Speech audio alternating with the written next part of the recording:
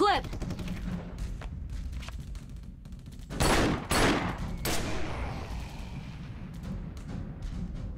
Want to make yourself useful? I'm not even gonna bother with the politics. Our brief says to not mingle, but if you haven't noticed, we're in deep and sticky. And this time, it's all on us. We dug our own grave. Literally. Filth's crawling out of the crevice down that valley, and our guys on the ground have been infected. I hate leaving a mess, but we can't do the cleaning up. This is a last stand sort of deal, and all we can do is hang on to this perimeter like grim death and pray for a miracle.